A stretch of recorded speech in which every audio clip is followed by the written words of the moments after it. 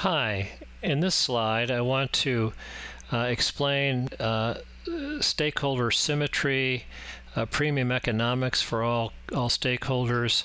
Um, as John Mackey of Whole Foods has come to rally behind a, a, a term he calls conscious capitalism. He now even has a, a annual convention about this. Um, I have a client whose whose part of their mission statement is to be first choice by all stakeholders.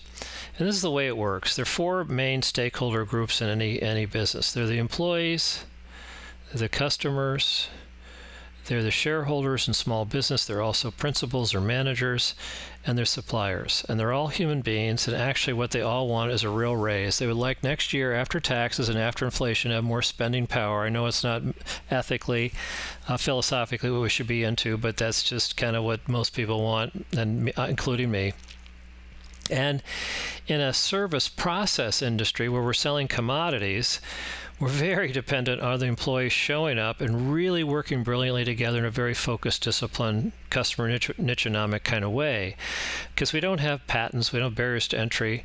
I mean, if you go look at a McDonald's, just even the location they have, but all the French fry tech, you know, uh, you know, technology that's in that place, and and uh, the national, global branding, et cetera. It's it's a it's an enormously. If you went in there first day on the job, you can't burn the hamburgers if you wanted to. So. Uh, it, it, turns out that thinking about all four stakeholders and, and, and doing well by all of them works very well in distribution businesses uh, with commodity flow going through them. So the idea back to the service profit chain is if, if the employees win first, if we can, you know, pay more to get better quality employees and cross train them and get them excited and keep them engaged and give them focused on one niche at a time and the service value equation metrics for that, then what happens is the customers win. So the customers win secondly, and we know that because if we start growing faster in the industry and more profitably, so it's because the we have a value proposition that's so compelling that customers can't afford not to do business with us. If we start growing faster in the industry and profitably so, then the suppliers win because we're just buying more stuff from them and paying our bills on time, which really is all that matters to them. Now, the shareholders sort of win as a byproduct because we, if we're making good money, that's great. But the problem is, the money has to go back in the business. In a privately held business, the primary source of money to finance more inventory and receivables to support more sales comes from profit after tax reinvested year after year after year in the business. So, the on paper, the the book value of the shares in the company might be a lot, but that uh, but the shareholders can't go spend that. It's it's tied up in inventory and receivables, so they just work for a salary and think about all that money they've got tied up in the business.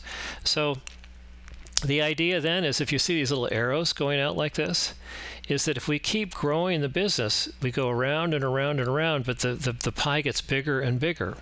And in a growing business, employees have a chance to get promoted. They certainly have a chance to have premium uh, wages for their job niche and they have a chance to have a, a wonderful, uh, you know, esteem, you know, uh, pride because they know measurably they have the best service value proposition in the business.